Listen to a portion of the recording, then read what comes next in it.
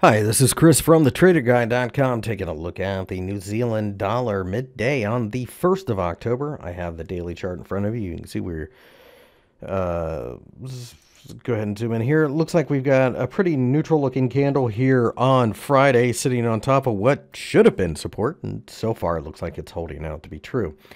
Now, having said that, I'm not looking for something major here. I just think that we're trying to find some reason to rally the four hour chart you can see is forming an eight hour hammer. There's a hammer there.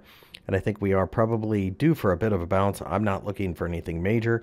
I wouldn't expect any more than 67 at this point, uh, with a particular eye at 66 and a half. If and only if we break down uh, maybe 15 pips or so below 66, then I think we unwind towards the bottom at 65. So pretty binary trade, really, when you look at it.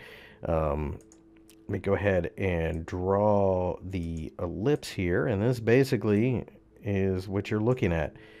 Above, you buy. Below, you sell. Pretty straightforward. New Zealand dollar maybe uh, reacting to more of a risk-on attitude in the markets as the U.S. and Canada have signed the agreement finally it doesn't have anything to do with New Zealand, but people do tend to short the dollar under good news, and I think that's what's giving us a little bit of lift here. Again, not the world I'm looking for here, just a quick short-term bounce for you Fibonacci aficionados. Let's see where we are here. Yeah, right there at the 50%, so it kind of lines up with that as well.